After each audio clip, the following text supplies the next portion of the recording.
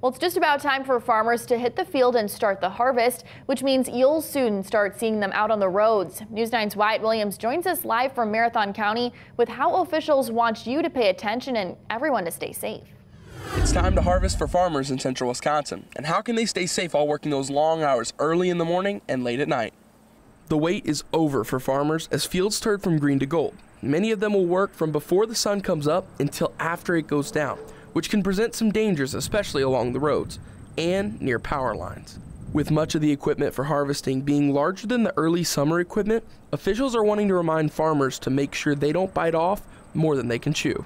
Equipment is getting larger uh, on in the farming uh, sector. It's getting taller. Our lines don't necessarily get taller. So we have to be very careful of our clearances, especially with these larger uh, pieces of equipment, combines, wagons, uh, tractors. Wires on the ground, even if unattached, can still be active and should be avoided at all cost.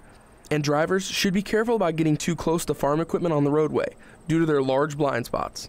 Officials say to report damaged line and poles to avoid power outages and limit further damage. In a cornfield, Wyatt Williams, News 9, WAOW.